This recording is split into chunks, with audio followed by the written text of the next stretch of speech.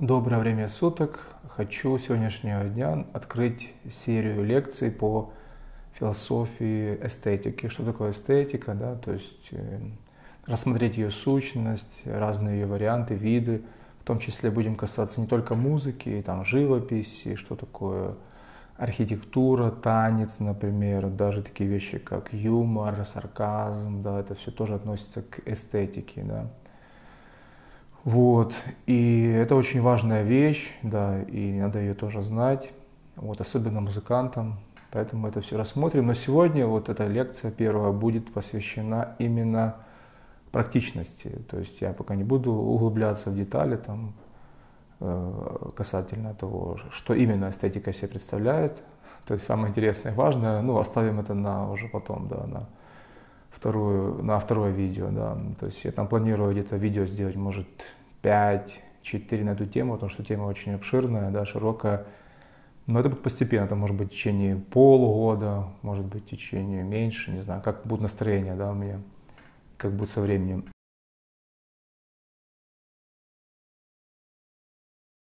И значит, э, ну, я вам хочу сказать сразу, что эстетика, почему она важная, да, первое, это потому что это не только то, что вот музыка, то, что живопись, то, что театр, то есть это не только искусство, да, некая искусность, то, что вот сложно создать, некое творчество, да, а это еще и вещи бытовые, которые нас окружают, мы просто этого не замечаем.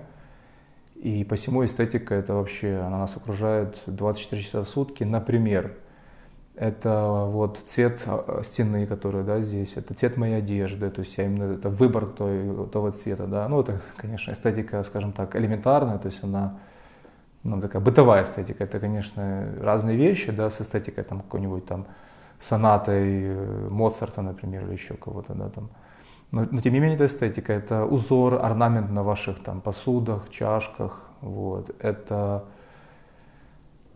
это даже вот э, геометрия ваших окон, например, да, то есть э, симметрия в данном случае. Почему они симметричны? Почему люди все делают симметрично? Вы не, не думали? Ну, это мы все обсудим, да. Вот, поэтому эстетика нас окружает очень сильно, и посему надо знать, что это такое. Значит, какая литература существует по эстетике?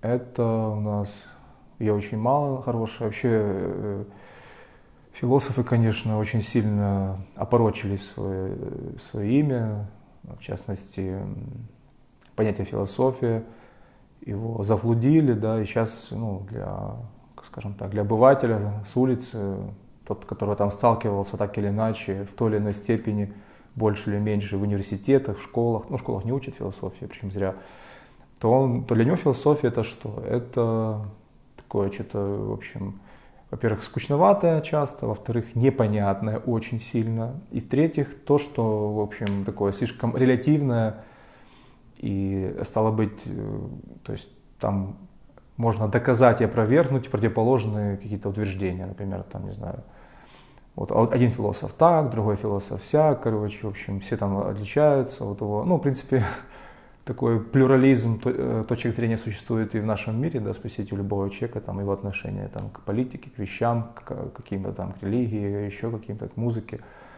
будет отличаться, это, в принципе, нормально, да. Но там это же типа как наука, она претендует на какие-то обоснования, и там все настолько размыто, все настолько плюралистично, чрезмерно, да.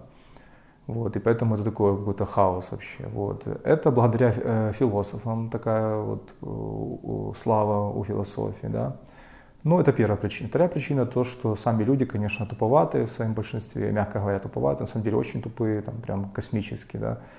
И поэтому их ничего не интересует, кроме там поесть, размножиться и где-то доминировать при возможности там, ну, там, в виде какой-то там покупки или квартиры, или машины, или, в общем, не знаю, чего угодно. Мышц, как у меня, например. Короче, то есть как-то выпендриться, да, грубо говоря. Поэтому никого это не интересует, поэтому философия снискала себе такую дурную славу, да, то есть суммирую, да, по двум причинам. Первое, это в силу самих философов, что они порой такую чушь, э, ну, просто нудоту, вот, сам, Гекель какой-то, Хайдегер, например, да, такую бредятину просто, ну, это отдельная тема, да, Ну и плюс сами люди виноваты, что они не, не интересуются вещами серьезными. В связи с этим я хочу вам сказать, что я этот термин не люблю уже теперь философия, потому что его зафлудили, ну то есть его как бы уже у людей будет это ассоциироваться, если я скажу, допустим, вот сегодня у нас там философия эстетики, скажут, да, философия, что там такое, какая-то нудота, бред какой-то там, да, это самое. Вот, поэтому я же не буду каждый раз объяснять, что под философией я имею в виду вот не такой бред, как у Гегеля, например, там, или у кого-то Хайдегера, там, или у кого-то Ницше, ну, этих бездарей, да, а там, например, как у Канта или Шопенгауэра. Я же не буду каждый раз в этом. Поэтому я хочу заменить это понятие на филологика. То есть философия, да, немножко сейчас сделаем такую небольшую, да, э, небольшую преамбулу да, перед э, лекцией этой. То есть э, что? Что философия теперь будет у меня, ну, я буду ее называть филологикой. То есть фил – это любовь, да, кто не знает. И, ну, понятно, что логика, поэтому, потому что философия должна быть, как и Кант писал, как и, в принципе, это естественно или не характерно, быть наукой, да, то есть э, опираться на какие-то правила научные, какие-то законы научные. В данном случае здесь идет речь больше о логике, ну, преимущественно логике, да, то есть быть э, наукой логичной, а не так, как, допустим, Ницше, да, что хочу, то утверждаю. Там написал, допустим, там, это есть так, и все, без аргументов. Там, вот, Бог умер, все, там, или еще что-то. То есть, вот, понимаете, а Кан, допустим, пишет, это есть так, и потом на 300 страниц объяснять, почему это так. И в каждой странице такие слова, поскольку, в связи с этим, потому что так-то и так-то, то есть причины и следствия, да, констатируются, то есть причины и следствия, поэтому и э, слова такие, как следовательно, да, это признак того, что человек, ну, пишет логически как-то, а так просто писать, это есть то, как, допустим, Бердяев тоже, ну, люди больные, да, они, ну, Бердяев не сильно больной, Бердяев просто не, не, не философ, да, то есть э, он, ну, это не наука, это просто, что хочу, то пишу, да, типа, мол, ну, вот, типа, я пишу, короче, читайте, да, меня. Вот, поэтому филологика, под филологикой я буду отличать ее от философии тем, что это будет такая строгая философия, научная, да, которая будет максимально базироваться на логике, на каких-то таких да, положениях, на математике. Ну, математика, логика это одно и то же почти, да, то есть всякая логика это математика, но не всякая математика логика, то есть математика шире чуть-чуть, да. Вот. Э, ну, под математикой имеется в виду не алгебра, не 1, 2, 3, а там, допустим, А больше Б, А равняется А, там, ну, то есть такие вот вещи, да, э, такие вот всякие законы, положения, да, э, алгоритмы там прочее. Вот, поэтому я называю это филологика эстетики, будем так называть. Это мне слово такое ввожу новое, да, типа, чтобы ну, было максимально отражало объективность, чистоту, да, мышления и знания. Вот. Хорошо, с этими мы выяснили. Дальше.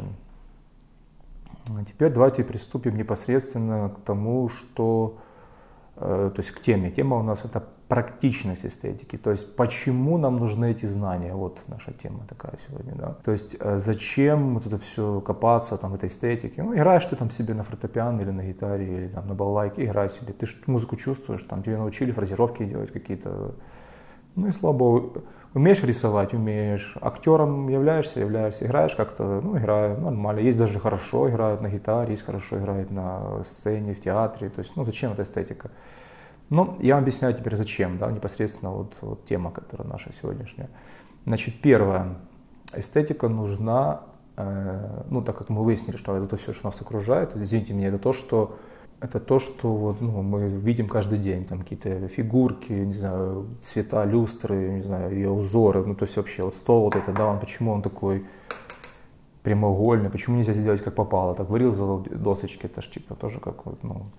Короче, ребят, это очень серьезная тема и она очень важная.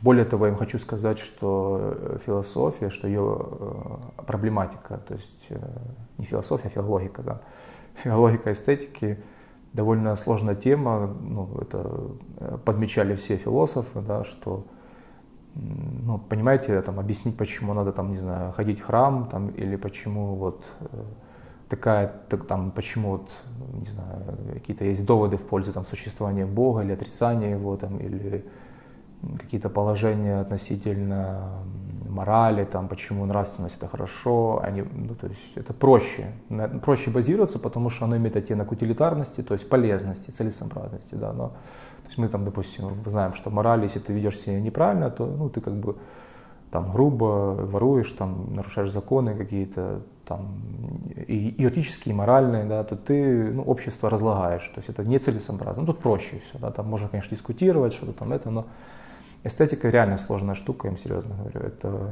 не шуточки, тут, вот, тут базироваться очень сложно, да, и это все подмечали, вольно-невольно, кто-то неосознанно там что-то писал про, это, про эти вещи, кто-то там более осознанно и, и ясно, да, это подчеркивал.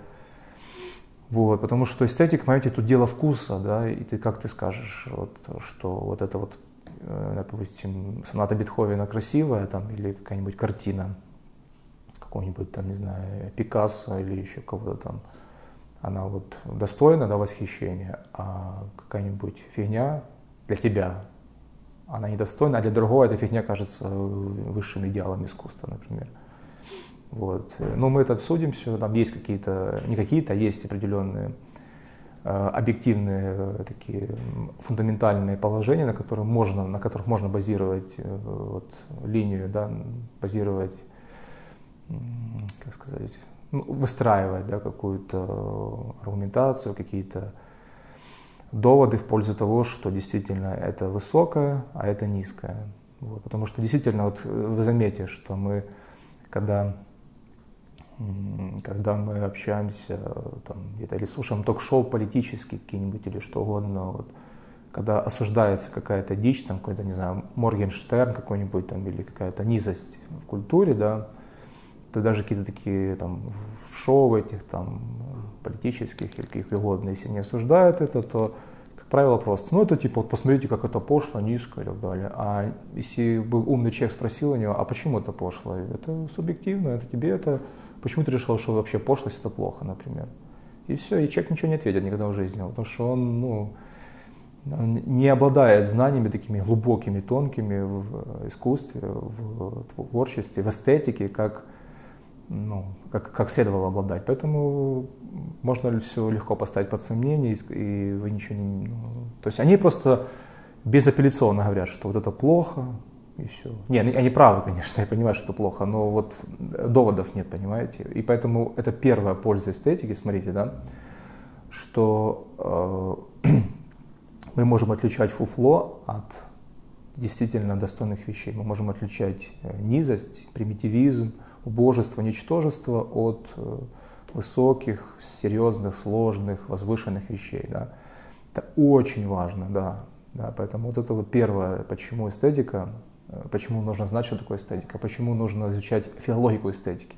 Потому что вы будете отличать э, не просто так вот, ну, типа принято в обществе, что вот это вот все-таки какая-то херня, а вот тут большинство решило, что это хорошо, поэтому мы будем все соглашаться. Да? Не, надо иметь э, доводы логические, математические, строгие, объективные, да, они есть, понимаете, здесь много субъективизма, да, в эстетике, это намного больше, чем, там, не знаю, в психологии какой-нибудь там или религии или еще где-то, но, но они есть, эти вещи объективные, мы потом их, ну не, не сегодня, будем рассматривать, да, вот. Поэтому, чтобы отличать э, низость от высокого, да, для этого требуются вот эти вот понимания, эти глубокие, логические, проникновенные знания в сущность предмета эстетики, да. Вот, это первое. Отсюда вытекает второе. Э, то есть первое, это как бы для себя, да, можно сказать, что ты должен понимать, что э, ты должен понимать отсюда как воспитывать твоих э, потом детей, что им прививать, какие там виды искусства, творчества, какую музыку им слушать и какие картины смотреть, какие там это самое, ну, не то чтобы там запрещать, но минимум не одобрять, а может даже иногда и запрещать, да, когда там это не приведет к обратному, э, обратному результату, да, если это, ну, это отдельная тема, психология, да, тонко действовать, да. Вот, то есть это первое, да, что вот мы для себя понимаем. Второе, это то, что такие знаниями должны обладать люди, которые сидят там, чиновнички всякие, сидят в этих всяких аппаратах, министерствах там, культуры, образования, они должны цензурировать это все, да, А чтобы цензурировать, да, вот, нужно знать, что вообще цензурировать. Потому что если ты сам ничего, ни черта не, не шаришь, не соображаешь, как ты сможешь определить, что запрещать, а что поощрять, например, да, вот. Или хотя бы, если не запрещать, то хотя бы не продвигать, да. А так, э, он, смотрите, сейчас в театрах всякую пошлятину, то есть в фильмах тоже, в передачках, где да, нет никакой цензуры, поэтому, ну, это хаос, да, это... Вот, э, понимаете, еще тут такой один есть недостаток, связанный с этой темой, потому что, чтобы понять максимальную практичность эстетики, ну, то есть для чего она, для чего эти знания нужны, да, э, нужно ее хорошо изучить. То есть, а я, видите, даю эти знания э, как бы наоборот. Сначала я рассказываю о практичности, а потом будем изучать уже непосредственно ее сущность, да. Вот. И почему это делаю? Потому что, ну, чтобы заинтересовать изначально слушателя, чтобы он понимал, он скажет, зачем эти знания, там, да, все это. Вот, вот затем. Поэтому сейчас как бы я немножко безапелляционно да, говорю, что вот есть э, искусство высокое, есть невысокое. Пока что мы не имеем доводов, ну пока просто так, я как бы авансом, да, это все. Вот, и, то есть э, пока я не привожу доводов, ничего, ну, можете считать, что просто пока поверьте мне на слово, а дальше уже в последующих там лекциях уже будут какие-то какие-то аргументы, да, приводиться э, в пользу того, что я говорю, что есть, есть объективно есть, да, то есть не, все там размыто, все там релятивно, не есть вот есть какие-то вещи релятивные, да, понятное дело, не все там прям вот математично объективно, но есть вещи, на которые можно и нужно, да, э, цепляться, да. Вот, поэтому вот эти вот вернемся к нашим чиновникам, да, что они должны понимать, что есть низость, а что есть высокость. Вот. А как, как они будут, как они, да, понятно, что как бы там все где-то понимают на уровне подсознания, там, не знаю, как там оно сложилось, там в архетипах или где-то еще, там воспитание, что вот все примерно понимают, что осуждается, что нет, там, да, какие-то там голые жопы осуждаются, там какая-то пошлятина, примитивизм какой-то, да, там, ну, осуждают с умными людьми, понятно.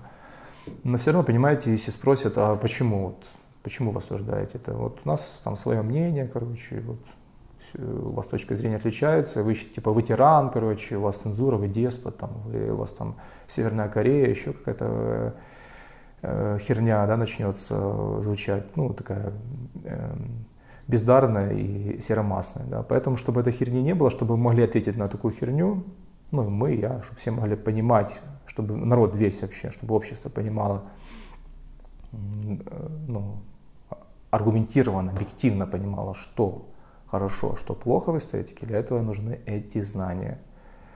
То есть это второе положение, да, для того, чтобы в, в системе там, нашей, а, а, ну вообще во всем мире, да, в системе образования навести порядок и цензурировать обязательно. Да. Пока сейчас, конечно, некоторым э, тупицам может э, слух резать, типа слова цензура, потому что они уже привыкли, они уже э, как бы развращенные, они думают, что цензура это какое-то зло, их научила вот эта вот э, убогая либеросня этим всем да, вещам. Не стоящая ломаного гроша вообще, самая презренная идеология, которая только в принципе может существовать на Земле, да, и даже в космосе еще. То есть если сюда прилетят инопланетяне, они спросят, и вы не спросите, какая самая презренная, да, там какие-то инопланетяне очень высокого э, уровня, они скажут, что самое презренное, ничтожное это э, либеросня, да, то есть вот это вот типа а свободно, да, когда все, все дозволено, потому что даже откровенное зло, такой жесткий тоталитаризм, который вообще просто концлагеря делает, он, э, ну, он все равно, это хотя бы сила, то есть это тоже плохо, понятно, да, там, но это хотя бы сила, она всегда что-то показывает, какие-то результаты в экономике, не знаю, в чем-то там, там, вся показывает. А либеросня, она, ну, поначалу может показывать какие-то плоды в экономике, но потом, как мы сейчас увидим в ближайшее время, в ближайшие годы, ближайшие 50 лет, она будет просто разлагаться везде вообще. Вот просто и в экономике, и в политике, в морали, в семье. Ну, то есть это самая вшивая, убогая, ничтожная концепция. Ну, это, это отошло от темы чуть-чуть. Вот. Поэтому, чтобы вот, э, да, люди же привыкли, конечно, что это классно. Ну, это вообще посмешище, не будем сейчас вникать в это, да, это отдельно. Вот, поэтому, типа, вот, как это так, цензура, что это такое? На самом деле цензура это, это то, что надо, да, нам, это то, что это когда вы свой огород начинаете полоть, когда бурьян, да, отсекаете, чтобы что-то произвести в огороде, да, чтобы что-то уродилось в вашем огороде достойное, картошка выросла, клубничка там и так далее, вот, то надо полоть, ухаживать, полоть, ну, то есть надо вырезать бурьян какой-нибудь, да, вот. Поэтому, ну вы поняли, да, о чем речь, намек, как говорится, вот. Так, хорошо, возвращаемся дальше. Какие еще могут быть у нас э, пользы от знаний в области, что такое прекрасно, ну, то есть эстетики? Это э, судейство, например, на конкурсах музыкальных, на конкурсах по живописи, например, на каких-то там конкурсах по танцам, я не знаю, по что чему угодно, ну, то есть каких-то соревнованиях, да, скажем так. Потому что для того, чтобы судить музыку, да, например, надо понимать, что в музыке есть вещи вкусовщина, да, то есть вкусовые которых, ну, очень тяжело к ним как-то подобраться и сказать, что это неправильно, да, что ты играешь не так, а вот так правильно, да. А есть вещи, которые действительно объективно, ну, как бы не совсем правильные, да, в, в искусстве, да, там, в живописи, музыке. Э, то есть они, ну, как бы, скажем так, объективно показывают какие-то слабости, да, поэтому из этого можно снижать, допустим, балл да, на конкурсах. Вот, то есть вот посмотрите, какая практика от этого всего, какая практичность, да, то есть эти знания, ну, это надо знать, потому что бывают там какие-то несправедливости вопиющие на конкурсах, там где-то на экзаменах, например, экзамен то же самое, вот во всех вузах, по, там, где ну, в области эстетики, то есть это там, не знаю, живопись, цирковое даже училище, например, не знаю, там, там где требуется тоже подача, актерство учитывается, да, какое-то. Э, в консерваториях, в училищах всегда же экзамены, да, есть. И надо их правильно судить, потому что надо понимать, за что есть вкусовщина, потому что очень часто судят там, какой-то, допустим, это ритм, да, в музыке. Ну, я просто музыкант, не, не, не, не большой эксперт там, в живописи, поэтому больше буду, конечно, приводить примеры из музыки, да. Вот, и, например, там ритм, ну, вот, как вы считаете, ритм, это, если ты играешь, там бывает неритмично чуть-чуть, это вот, это надо судить или не надо? Ну, смотря какое произведение, во-первых. Во-вторых, скорее нет, чем да. А многие нет, вот, ты сыграл неритмично, все, минус баллов. Идеально будешь вообще богом, просто музыку будешь чувствовать как угодно, все, снизим балл тебе, вот так, вот, вот, это неправильно, видите. Ну, это просто один пример привел, да.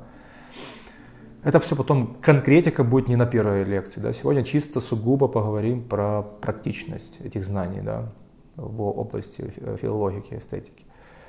Вот. Э, дальше, какие еще могут быть пользы? Да? То есть это третья польза. Да? Давайте еще раз вернемся. Первое для себя, для того, чтобы понимать, что своим детям прививать, что себе, что слушать в метро, что не слушать в метро какую музыку имею в виду, да. Второе, это ну, Министерство образования, Министерство культуры должны это все понимать, чтобы делать цензуры на высшем уровне, да. Третье, это судейство на конкурсах, на экзаменах и прочее. И четвертое, это для того, чтобы лучше ее чувствовать, да, то есть это, ну, это такое, причина уже не, не совсем такая, можно сказать, сильно практично, потому что можно чувствовать и не зная, да, есть хорошие музыканты, вообще они не, вообще понятия не имеют, что такое музыка вообще, ни одной дефиниции не знают, просто ни одной, но тем не менее играют очень музыкально, да.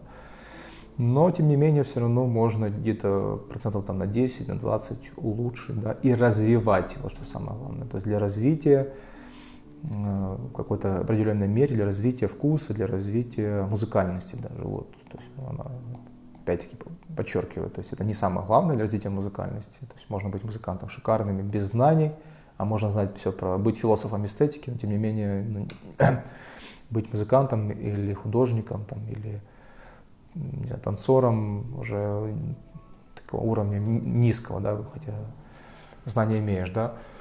Ну и, наконец, какой там пятый, четвертый пункт – это то, что эти знания – они вообще развивают общее мировоззрение. То есть, поскольку это филологика, то есть это глубокие такие вещи, скажем так, трансцендентального порядка, то есть не путайте с трансцендентным, да. Ну, это слово сложное, нужно, короче, забудьте, что я сказал. Ну, в общем, это типа как, давайте это э, простым языком, это глубокие да, вещи, такие глубокие, что глубже уже идти нельзя, да, то есть вот это есть э, трансцендентальные такие некие положение, да, это кантовская фишка, мол, молодец, гений вообще в этом плане. Вот. И, конечно же, вот э, их знать, это дает тебе шире мировоззрение, это влияет на твою жизнь, это развивает твое мышление, мозг в целом, да, отсюда улучшается общее качество жизни. Ну, я, я не говорю, что там, если ты будешь экспертом фил, фил, филологики и эстетики, то ты будешь, у тебя жизнь наладится, да, что ты будешь э, вообще, я имею в виду, жизнь наладится не э, материальная, там, что у тебя все получится, а просто даже вот, э, ты будешь вообще в раю жить, там, или у тебя будет все классно, восприятие мира, все станет вообще как вот совсем... Нет, такого не будет, конечно, но частично, там, на какой-то процент, на 5, на 10, оно поспособствует э, ну, такой какой-то грамотности, своей личной грамотности для себя, ну и для окружающих тоже, если спросят, там, ты будешь понимать. Мы же все друг друга влияем, да, поэтому вот эти вот знания тоже, вот, и они будут, конечно же, очень приятны для, для самого себя, плюс, ну, развивает мышление. Вот, допустим, смотрите, такой момент еще, вот, э, почему эстетику не преподают в школе, да? ну вообще фи фи филологику, ну то есть философию не преподают в школе. Э, смотрите, вот э, интересный момент. Вы учили в школе, ну я учил все, ну я правда не учил, то есть я прогуливал, слава богу, ума хватило тогда. Хотя ума тогда не было, хватило скорее просто какой-то вот жизненной силы, чтобы не учить ну доту, да. Вот, то есть мы все учили там тангенсы, котангенсы, какие-то высшие формулы по химии. Я не утверждаю, что не надо учить математику и алгебру, и даже вот эти вот высшую алгебру. То есть для, для специалиста нужно обязательно это все знать. Тангенс, котангенс, там вот эти все корень, шморень. Вот. Но то, что это учат все дети, это раз, это уже ошибка будет большая, да, и оно в жизни вообще вам не пригодилось никогда, вообще, слово совсем. То есть это одно, да, то есть какие-то такие вот вещи мы все проходим, там, и они нам в жизни... Да, понятно, что обычные там, таблицу умножения считать, э, ну, даже не обычно, а чуть выше, чем обычный уровень, да, какой-нибудь, вам в жизни это пригодится однозначно. А вот это все вот, э, процентов оставшиеся 80, которые там вас, грузят в математике, э, там, ну, там и физики, везде, я просто так я пару взял на опыта каких-то для примера то это вам это в жизни не пригождается слово совсем. В то время как эстетика вас окружает везде, да, вот просто вот она отовсюду. Снег, природа, не знаю, все это любование. Это, а это влияет на ваше качество жизни, на ваши ощущения, да, это влияет, как мы сказали, на... Потом это будет все доказано. Сейчас просто я опять подчеркиваю, повторяюсь, безапелляционно утверждаю, но потом это будет все во, во второй части, да, или третьей посмотрим. То есть э, вот это вот какая эстетика вас окружает, то есть что вы слушаете, что вы смотрите, какие фильмы, какие картины, какой танец даже вы исполняете, это влияет на вашу жизнь, на ваше мировоззрение, на ваши ощущения, на вашу психику. Это факт. Потом это будет доказано всегда и показано. Вот. Э, но эти, этим мы, эти, это в школе не преподается. Вот так вот. Вот, вот, вот такое слабоумие да, у, у человечества. Вот, вот как вы это объясните? Это клиника. То есть почему не, не учат э, познанию таких сущностных вещей? Да? Ну, отчасти это было мною объяснено в начале видео, что отчасти сами философы зафлудили это понятие, да? Ну, отчасти просто тех, кто складывает систему образования, у них мозгов нет. Ну, и, в принципе, а тех, кто складывает образовательную систему, это же те же люди, которые вот выросли с, ну, вот, с улицы, да, ну, в смысле. То есть это просто чисто слабоумие человеческое, такое природное, да, оно то есть не надо спихивать на кого-то конкретно, да, на кого-то, вот в себе начинать искать да, причин. То есть просто люди тупые да, от природы своей, поэтому они этими вещами не занимаются. Вот. Поэтому вот еще такой момент, что действительно не преподается, видите, эти знания, которые оказывают... Мы же, понимаете, вот смотрите, вот э, Танкинс, да, бесполезная вещь, вы не используете ее в жизни, там, да. А дальше эстетика, вы идете вы встаете, просыпаетесь, смотрите на ваши стены, на их цвет, там, не знаю, как, он, как в вашей комнате все расставлено, да, фэншуй там какой-нибудь, да, условно. То есть, если у вас обои черные, там какие-то красные, это одно настроение, оно вызывает тягость. Если светлое, то это лучше, да. То есть вы там просто купили, вы не знаете, да, какие обои покупать, вы купили, что попало, потому что у вас нет знаний, и потом страдаете, например, да, или там какие-то картины, тоже известный факт, что если ты, они, они на тебя влияют, да, ты вешаешь картину, например, такую-то, вот. Я уже, видите, немножко все-таки э, прихожу к каким-то доводам, но это так, пока все поверхностно, да, то есть э, э, картина влияет, да, на тебя, ты этого не знаешь, видишь, что попало, вот. Ты идешь потом, встаешь, покушал, да, там, пошел на работу, едешь в метро там, или в транспорте, в автобусе, слушаешь какую-то музычку, там, Продиджи, Мерли Мэнсон, например, да, ну, ты не знаешь, тебе просто, тебе никто никогда не объяснял, что есть хорошая эстетика, что плохая. Тебе никогда не учили ни в школе, ни в университете, ни в, ни в универах, там, да, ни в ПТУ даже, что там, что хорошо, что плохо, какая музыка хорошая, какая плохая. Ты просто слушаешь, дело вкуса, там, ну, это все, это все субъективно, относительно, мы просвещенные, мы там какие-то консерваторы, закостенелые. Потом общаешься с людьми, ты эту музыку, вот, кстати, еще момент, ты эту музыку, если ты какой-то там менеджер магазина, владелец, вот эту музыку ставишь в в бутиках, знаете, заходишь в бутик, там ну, играет такая музыка, я называю ее субстанциональная. Субстанция – это некая материя, лишенная свойств. Ну, то есть, такое, вот, допустим, что-то безвкусное, например, да, там сейчас часто говорим, там, ну, вот, еда безвкусная, да, там, без приправ, там, творог обезжиренный, там, субстанция какая-то, да, творожная субстанция, можно назвать, да, это условно. Вот, и эта музыка, которая в бутиках такая, знаете, субстанциональная, такая бесчеловечная, такая, знаете, типа э, какой-то электро, техно, там такая дебильная, то есть, чтобы, ну, вот, э, я не буду доказывать, почему она сейчас дебильная, опять повторяюсь в сотый раз, чтобы не было потом вопросов, я это все буду объяснять и доказывать в последующих лекциях. Сегодня просто пока безапелляционно будем считать, да, я утверждаю это голословно, скажем так. Вот.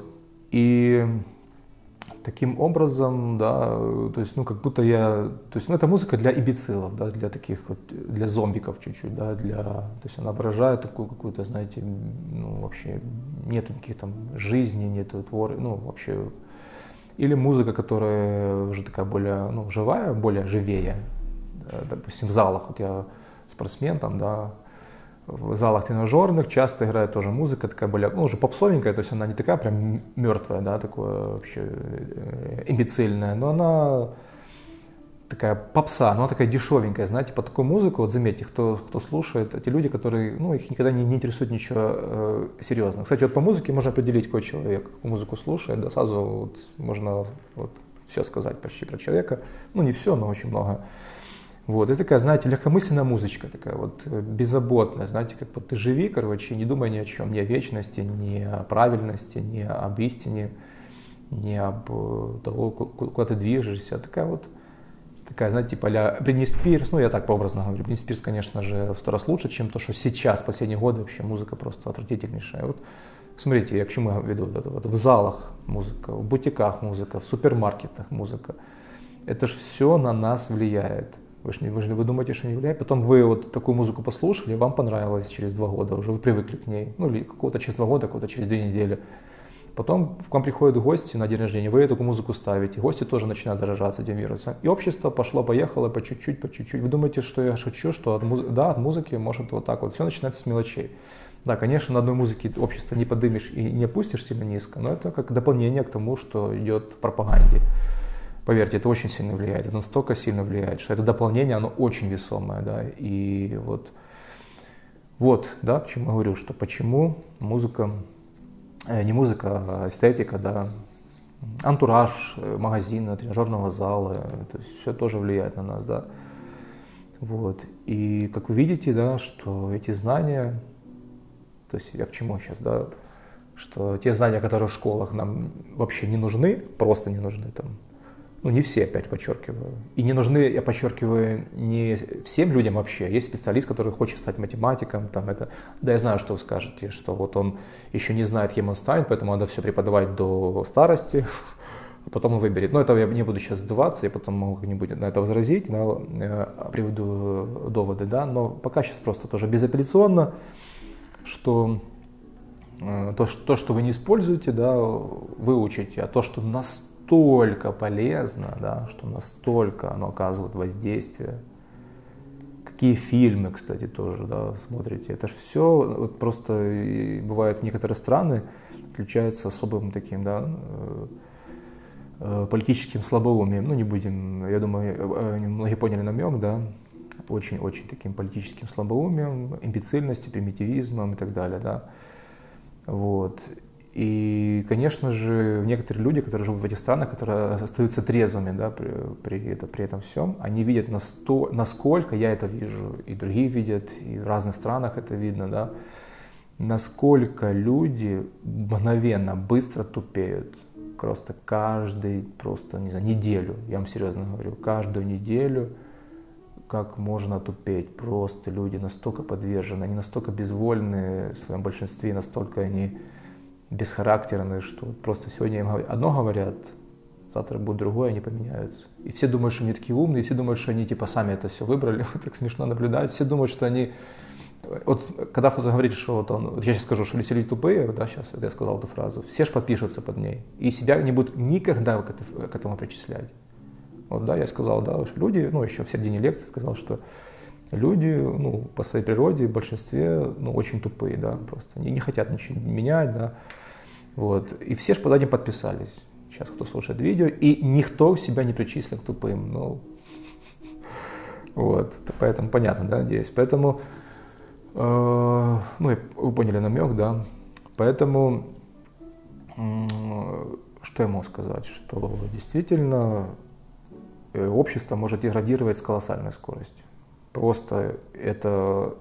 Я, я сам бля, был в шоке, я до этого не знал. Я знал, что, ну, не знаю, с 15 лет, там, с 20 условно, ну, я догадывался, что лю, ну, люди как-то подвержены влиянию сильному, да, какому-то такому. Но вот буквально недавно мне довелось узнавать, как это быстро можно вообще просто превратиться, как можно быстро упасть.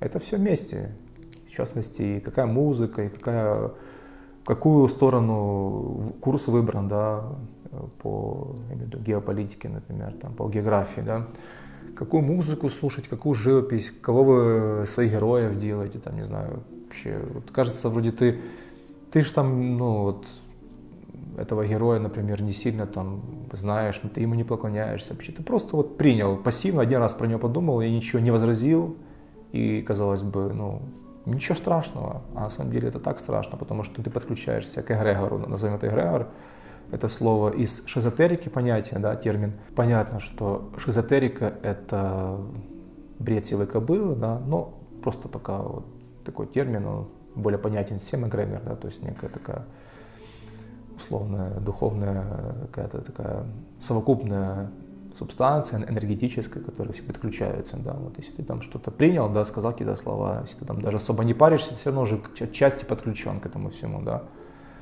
вот, э, поэтому, поэтому, ребята, какие выводы? Ну, выводы вы уже сделали, да, здесь, что эстетика, она э, очень, эти знания, да, вот, о том, что такое вообще это является, чем оно является, да, и где найти вот эти вот критерии, да, и полезности, и вредности, какая из них полезная, какая вредная, да, и где найти критерии, да, то это нужно все искать в изучении этого предмета. Вот. Возвращаясь еще к литературе, да, какую литературу читать. Ну, конечно же, ее очень мало, да, я вам скажу, что читать нечего особо здесь. Могу порекомендовать несколько. Но опять же таки, я рекомендую, понимаете, вообще читать нужно любую литературу, особенно по там, философии, по психологии, такое что-то, да, общее, когда там, то есть не какие-то факты там по истории, хотя это тоже надо, понятно, рассматривать критически, а вот такие какие-то вещи характера общего, да, ну, то есть там про жизнь, там, не знаю, философия, про такие общие категории. Всегда нужно читать, не впитывая знания оттуда, вот, да, опять-таки вернемся да, к, к мною упомянутому подверженности чрезмерному влиянию общества на все, что ему скажем, да, а не просто верить наслепо все, что ты читаешь, да, а ты когда читаешь, ты должен просто думать об этом, то, что ты читаешь, тебя это должно наводить на мысль, ты должен как бы быть сам творцом. Но, конечно же, творить не, не, не по принципу, что хочу, то творю, да, а читать, стремясь познать, как оно есть на самом деле, то есть э, истину настоящую познать. Истина это не то, что такое, то, что абстрактное, там, религиозное, истина это просто вот то, что есть. То есть это, а, это антоним слова заблуждения. То есть 2 плюс 2 4 это истина, да, там, э, это предмет больше этого, это истина. То есть это не то, что какой-то, там, знаете, там, часто это слово истина, как, допустим, Гегель ее, его употребляет, или в Библии часто истина, там Христос истина, ну что значит истина, ну как бы, то есть не существование Христа как личности или Бога истина, а именно Христос, Христос истина, или Бог любовь тоже, такие, это ну, смешные понятия, да, то есть, то есть не Бог обладает любовью, а Бог есть любовь. Это нарушение логики, это, это, это, ну, это бред. Да? Вот эти все понятия истинности, такие, такие размытые, это все чушь. То есть под истиной имеется в виду сугубо то, что есть, то, что правда. Вот правда то, что сегодня, например, там 20, какое там сегодня, 27 да, число, да, 27 число сегодня, 27 декабря. Кстати, на улице снег такой классно, так красиво, вот вам эстетика. И вот это истина, да. А если скажу сегодня 25 декабря 2023 года, то, ой, ноября, ноября, то это будет не истина, это будет заблуждение, вот. Поэтому, э, когда читаем книжку какую-нибудь, да, нужно всегда стремиться познать истину. Не познать то, что тебе хочется. Вот, то есть не выдавать желаемое за действительное, а познать то, что есть. И просто вот этот философ, который пишет, вы читаете там какого-то, э, не знаю, Канта там или э, Гартмана, есть такой тоже по эстетике, Николай Гартман тоже более-менее можно почитать. То есть просто думайте над тем, что там написано. Просто медленно читать надо. Это не так, как там ты читаешь роман. Ну, роман это вообще отдельная история. Э, то есть просто читаешь, там бегло, там он зашел, он сказал, она открыла дверь, там была такая-то погода, короче, ну это такая э, пустотень, да, просто ты читаешь, проходишь мимо взглядом, да, там у тебя включается воображение частично и дальше все. А ну, научную, серьезную литературу следует читать вдумчиво, медленно. Я как первый раз, помню, читал Канта, я мог себе позволить прочитать две страницы в день очень медленно, обдумчиво. Потом, конечно, я уже читал по, по 20 в день, потому что уже мозг, ну, а как только начинаешь вообще, как только я начинал изучать философию, я имею в виду, больше, больше мой мозг не смог, это очень сложно там было переваривать, да, все это. Там надо, надо вдумываться, понимаете, поэтому, когда читаешь, э, вот, если, если вас интересует вопрос, какую я мог бы вам порекомендовать литературу, то исключительно таких авторов, как э, Кант, критика способности э, суждения, Николай Гартман, э, эстетика. Можно чуть-чуть, очень дозированно из, скажем так, с хорошей такой, ну, с, с пониманием того, что человек больной на голову, это Гегель эстетика, лекции по, по эстетике, да, есть там у него несколько сочинений, да, то есть понимать, что Гегель это человек, который умственно, скажем, некоторые... То есть он иногда говорит вещи умные, правильные, но очень часто это клиника, да. Но опять же таки мы можем любого даже ну, сумасшедшего человека найти что-то прям гениальное. Иногда он что-то скажет просто и все, это прям круто, да. Вот. И, конечно, у Гегеля нет ничего гениального, но там просто вы можете тоже просто, оно будет вас наводить на мысль, понимаете? Раз подчеркиваю, вот эти все три, три книги, что я перечислил, да, больше нечего читать. А, еще есть э, Завалька тоже, мне как-то скинули там э, где-то в Ютубе, по-моему, кто-то писал, почитай Завалька. Тоже, тоже можно почитать, да, эстетика. Вот.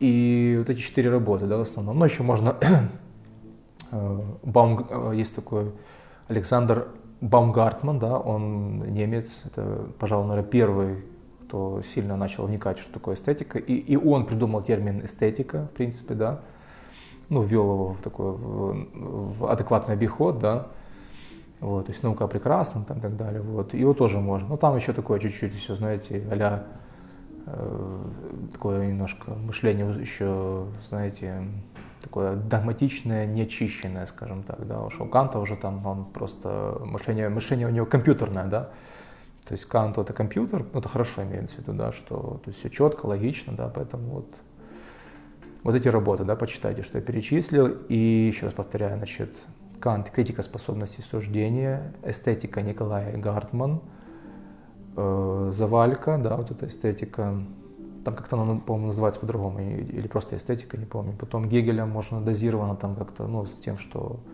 с, э, принимая в расчет его слабоумие, да, и так далее, э, его вот это вот, э, что он выскочка был тоже, но все равно можно там найти что-то неплохое, да, для, для, для размышления, не для получения информации, а для размышления, подчеркиваю. Теперь давайте еще немножко вот подробнее, как читать, да, э, то есть вы берете, читаете, да, и просто думайте над тем, что пытаетесь опровергнуть в мыслях, вот прочитали абзац или строчку, некое утверждение, там, это есть так, это есть так, подумайте, правда он говорит, что он имеет в виду, да, попробуйте найти какие-то примеры жизни, то есть очень большая ошибка философов всех – даже такого хорошего философа, как Канта, то, что он дает мало примеров. Он там, конечно, иногда дает, но если бы он давал э, на странице по 10 примеров, его бы считали вот все люди на этой планете и восхищались бы. Но учитывая, что вот это вот, они пускаются да, в эти дебри без примеров, да, теряют почву, да, вот эту вот э, эмпирическую, и они потом ну, их, как бы, становятся сложны для понятия, Вот, приходится самому как бы додумывать, искать примеры, да.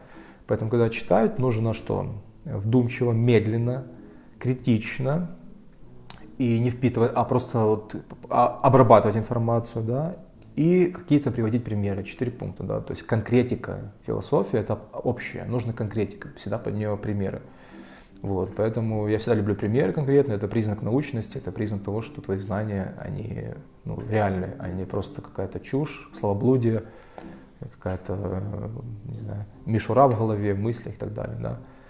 И еще такой момент, обратите внимание, когда будете читать э, что-нибудь из этой указанной мною и только что перечисленной литературы, понимайте, что даже у Канта много воды. То есть, ну, просто даже понимать, что вы можете читать страницу, и там просто пустота будет.